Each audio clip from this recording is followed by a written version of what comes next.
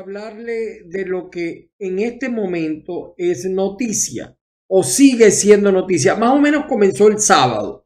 El sábado comenzó la noticia con eh, la renuncia. Bueno, digo yo el sábado, pero realmente se supo el domingo en la mañana, cerca del mediodía. Eh, eh, hay un hecho mm, que nosotros a veces uno dice aquí las cosas y algunos lo dicen, le dicen a uno mal hablado, que inventa noticias falsas y demás. No, no, no, no. Lo que pasa es que no todo lo que dice uno, yo siempre lo he discutido esto con Miguel Ángel Román, no todo lo que dice uno se puede probar, porque en política hay cosas que se saben, pero que no se pueden probar. Por, eso yo creo más en los argumentos, en los argumentos. Se han iniciado, ya se han juramentado algunos gobiernos regionales y municipales, eh, incluidos los de la oposición. Creo que a Rosales le entregan Creo que la intención del chavismo es entregarle el 5 de enero, no así a los alcaldes. Pero bueno, aquí estamos con todos ustedes. Fíjense, Julio Borges, por aquí tengo la nota en caigaquiencaiga.net. Julio Borges pide la eliminación del gobierno interino o gobierno de Internet para mí, porque eh, yo entiendo que los Estados Unidos reconozca a Guaidó, porque Estados Unidos es una nación que tiene que ser coherente con su planteamiento y no va a reconocer al dictador Maduro. Ellos tienen que reconocer esa a, Juan Guaidó. Era, era lógico. Lo que yo no entiendo, porque Julio Borges ahora me quiere hacer un poco como los perros cuando los mojan, el perro mojado. Los perros se mojan y se sacuden y, y arrancan. No, no puede ser así. Julio Borges pide la eliminación del gobierno interino. Realmente hubo un gobierno interino. No hablemos de la constitución, porque la constitución dice misa, eso es interpretación. El problema es el hecho político. ¿Quién gobierna lo interno dentro de Venezuela? ¿Quién maneja Venezuela? ¿Cuántos países de los que apoyaban a Guaidó ya lo han abandonado? Todavía mantiene una cantidad de países, 30 y pico. Creo que va a perder otro si, si, si, bueno, ya perdió Honduras de nuevo. En Chile hay una situación interesante, ojalá no llegue ya el comunismo, en Colombia, etc.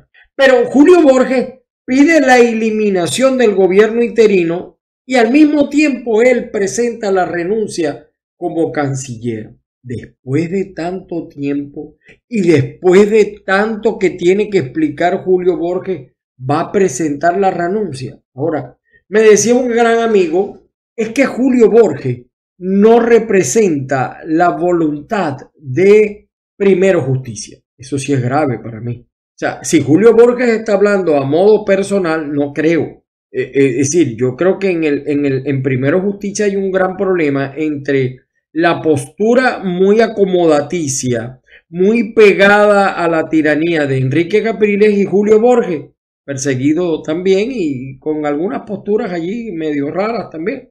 Eh, en todo caso, en todo caso, a todos se les acusa de, o sea, si, si esta dictadura tiene 22 años, va a cumplir 23 por culpa de una mala oposición, bien sea por intención o por omisión. Pero entonces Julio Borges pide la eliminación del gobierno interino, pero miren las razones por las que pide la eliminación. A todos esos, a mí no me ofende de paso, ¿no? No, porque tú lo que eres es un brollero. No, no es que primero no sean inmorales, señores políticos. A los políticos les encanta un brollo y una bruja. ¿Cómo les gusta un brollo y una bruja? Porque en política hay cosas que se saben pero no se pueden probar. Miren ustedes lo que dice Borges. Miren, para que vean ustedes todo lo que hemos dicho en este canal Factores de Poder, todo lo que ha dicho Patricia Poleo. Miren, miren. Perdimos apoyo internacional, lo que yo les decía. Por ahí publicó el Nacional un centenar. No, Guaidó no tiene un centenar de países. El, hombre que más países tiene reconociéndolo es Nicolás, con la ONU. Ciento y pico de países, eh, lamentablemente. Pero mira lo que dice Julio Borges. Perdimos apoyo internacional porque han habido demasiados errores y escándalos. Pusieron nuestro caso en la nevera. Necesitamos un espacio interno de movilización de lucha de los partidos y la sociedad civil y hay que acumular la fuerza para tener legitimidad dentro y fuera. No lo está diciendo Ángel Monaga, no lo está diciendo, lo está diciendo Julio Borges. pegadito ahí durante todos estos años y que ha usufructuado el poder mm, de, del gobierno interino. Eh, por cierto, verifiquen cómo está el sonido, a ver si ha mejorado o no ha mejorado. Estoy, probando un micrófono profesional que me regaló mi hijo mayor y que por cierto está en Venezuela y lo estoy probando. El opositor señaló, o sea, Julio Borges, directamente a, a Guaidó y dice, no puede pensar en vegetar en una posición.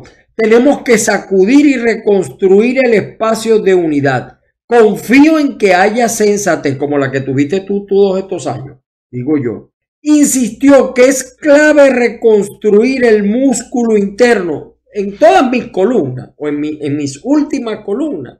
Yo he venido hablando de que lo más grave que le está pasando a la oposición es que no tiene músculo social, lo perdió. No hay conexión con las grandes mayorías, no las hay.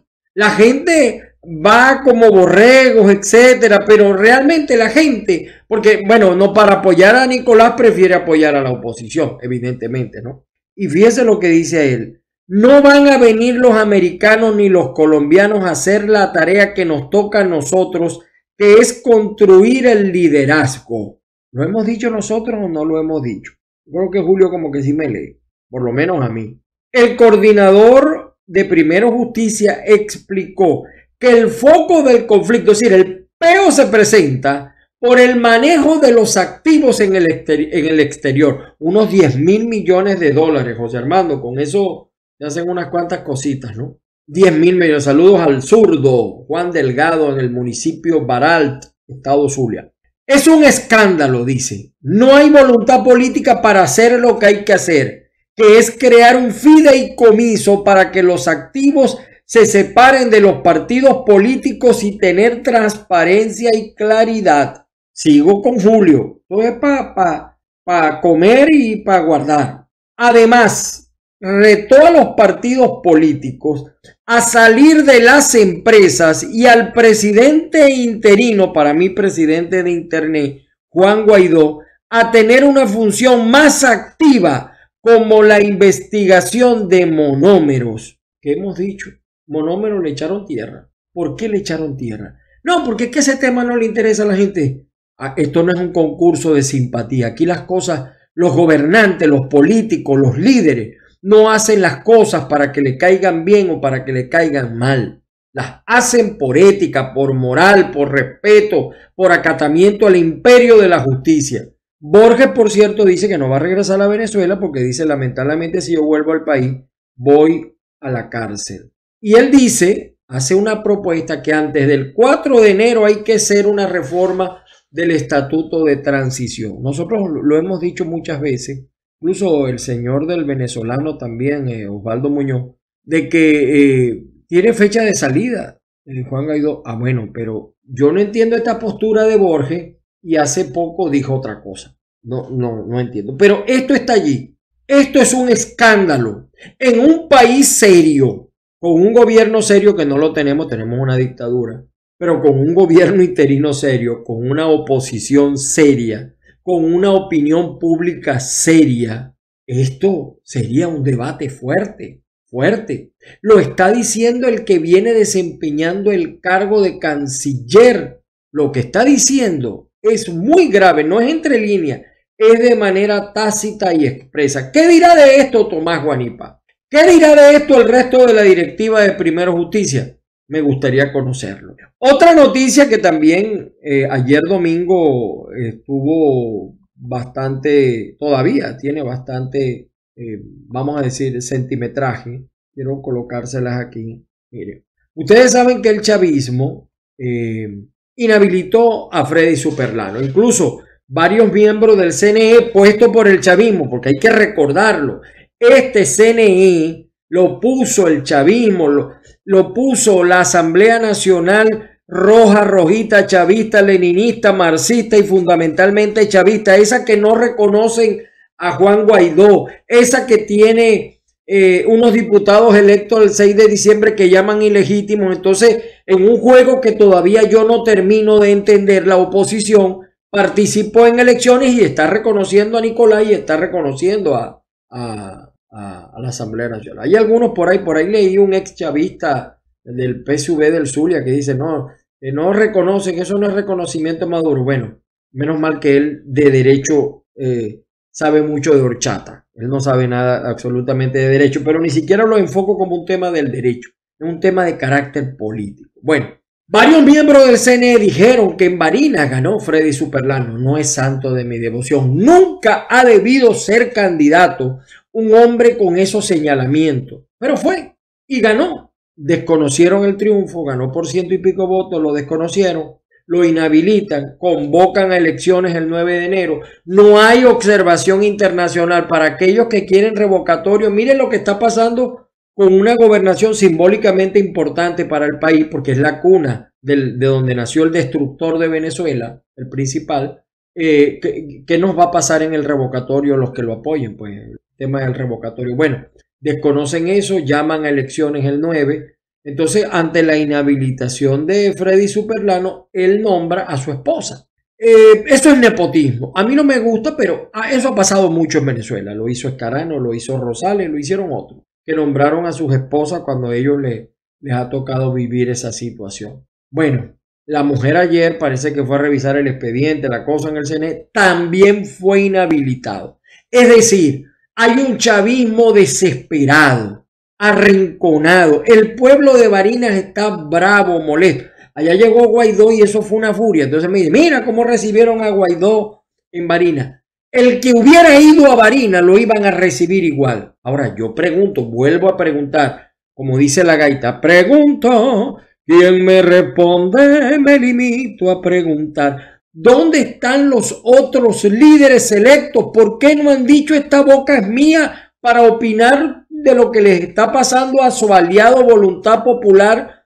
que dijo que no tenía candidatos, pero sí tenía, y hasta eligió concejales y diputados sin voto, porque en el Zulia no tenían voto, y sin embargo metieron concejales y diputados. Ajá, porque esos líderes no se han, no he visto un alcalde, no he visto un gobernador pronunciándose sobre esto de Freddy Superlano. A la mujer también la inhabilitaron. O sea, inhabilitan a Freddy Superlano, inhabilitan al esposo. Bueno, ya lo que falta es que digan a quién quiere, que Diosdado diga a quién quiere y que Guaidó y que Maduro diga quién quiere. Por cierto, que Argenis Chávez anda como plancha chino porque él dijo, no va a ser Nicolás el que va a poner el candidato. Y fue Nicolás. Ayer en horas del mediodía tiró el tuit. Y Diosdado, hay una, allí se están uniendo Diosdado y, y los Chávez para, para combatir a Maduro, porque Maduro los acababa a todos. El tipo no será culto, pero sí es inteligente. Algunos que me escriben al chat me dicen, pero mira, bueno, es que yo tengo que hablar de estos temas porque son los temas que están en vigencia en Venezuela, independientemente que yo no crea en las condiciones en las que se hicieron esas elecciones, independientemente que yo crea que sí hay un reconocimiento de Nicolás. Bueno, eso es lo que se está hablando en Venezuela. Y yo voy a ser muy honesto, pues, pues yo prefiero en todo caso que entre los males el menos malo, ¿no? Ahora, eh, ¿quién va a eh, Argenis Chávez está rabioso porque colocaron a, a, a Riaza. Riaza viene de tener una relación, y creo que hasta nietos le dio, con María Gabriela, la infanta, la representante genuina de la aristocracia roja rojita boliburguesa, de la noche a la mañana es multimillonaria, se da la Dolce Vita, se codea con las mejores estrellas, tiene negocios de importación y de exportación. Si le tomamos una foto cuando llegó al poder su papá y la vemos ahora, hay una transformación. Pero bueno, se le luce porque es mujer, pero ¿de dónde barro si no llueve? Bueno, esa boliburguesa colocan ahora al esposo para de alguna manera tratar de amarrar el sentimiento, ahí nació el chavismo o sea, lo que noto es un chavismo desesperado que quiere como a lugar ganar allí. Y estoy convencido que en Barinas gana quien sea contrario a los Chávez y al chavismo. O sea, el pueblo de Barinas, independientemente de cualquier otra consideración, no quiere saber nada del chavismo. Si allí de verdad hubiera o hubiese un legítimo proceso, porque ahora ni observadores va a ir, van a ver, allí no habría otro resultado que la derrota del chavismo, para que ustedes sepan.